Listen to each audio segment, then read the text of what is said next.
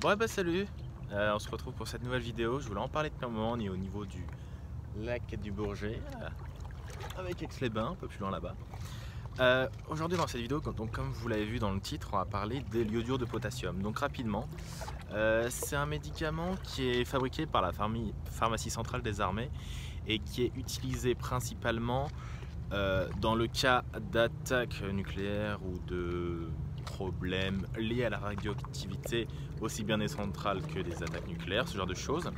Et euh, c'est simplement un médicament à prendre pour combattre en fait les sortes de, euh, de radiation nucléaire qui seraient bloquées au niveau de la thyroïde, donc c'est une boule hein, au niveau du cou. Et euh, du coup, ce médicament-là, comme j'en ai parlé dans une précédente vidéo, on m'a dit que je pouvais pas en acheter parce que j'étais pas proche d'une centrale nucléaire ou d'un un endroit où il y a du nucléaire euh, et du coup bah, que je pouvais pas en acheter.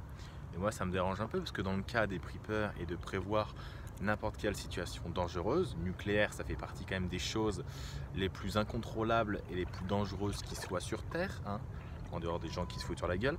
Euh, mais voilà, euh, et du coup c'est quelque chose que je voulais depuis un moment. Donc du coup j'ai trouvé ça sur un site, Illico Farm, ou Illico Pharma, je sais plus exactement un site internet qui est lié en fait, c'est simplement une pharmacie du côté de Lyon où vous pouvez acheter tous les médicaments que vous voulez, doliprane, aspirine, euh, vitamine C, vitamine D, euh, tout ce qui est médicaments, mal de transport, tous les médicaments que vous trouvez dans une pharmacie normale, vous pouvez les acheter sur site là et c'est carrément cool, donc il y a vraiment tout, dont des iodures de potassium. Donc c'est quelque chose que j'ai parlé dans mon sac d'évacuation, je vous mets euh, une note également, il y a cette vidéo là, une petite note.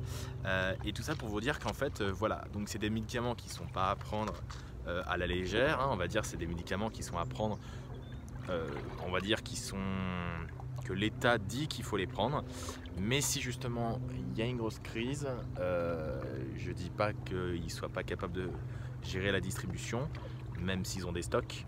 mais bon, quand on voit l'environnement global dans lequel on évolue et le fait que c'est le bordel à peu près partout, je ferai des vidéos justement sur ça, euh, bah, je me dis que ce serait pas étonnant qu'ils puissent pas euh, en administrer à tout le monde hein, si jamais il y a un souci. Je sais bien que c'est faible, hein, dans le cadre les radiations on peut plus rapidement te tuer, mais si jamais tu es à l'écart de tout ça, bah on va se faire tremper. Si tu es à l'écart de tout ça, bah, ça peut quand même être utile. Donc voilà, les iodure de potassium de la pharmacie centrale des armées en 65 mg.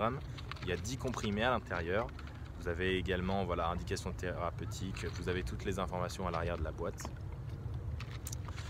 Donc voilà, iodure de potassium. J'espère que cette petite vidéo vous aura plu. Euh, je ferai également une vidéo sur la présentation du site de la même manière que euh, pour la présentation, euh, enfin pour ce qui concerne le, ce qui a concerné le site de Lyophilis Echo. Hein, la vidéo est sortie, euh, carrément cool. Un truc que je voulais faire depuis un moment, comme j'en ai, ai parlé. Donc du coup, bah voilà, n'hésitez pas à me dire ce que vous en pensez de cette vidéo-là et de la vidéo euh, également euh, bah, de, la pharmacie en général. Je ferai une vidéo globale avec toutes les explications. Bon bah voilà, et ben en tout cas bah, bonne, bonne après-midi et puis bah, à la prochaine.